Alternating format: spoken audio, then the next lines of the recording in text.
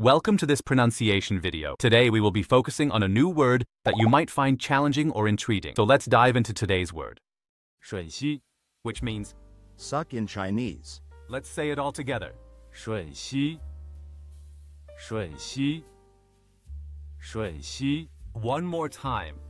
吮吸，吮吸，吮吸。 Thank you for joining us on this adventure in pronunciation. Remember, language is a journey, not a destination. Keep exploring, experimenting, and expanding your linguistic horizons. We'll see you next time.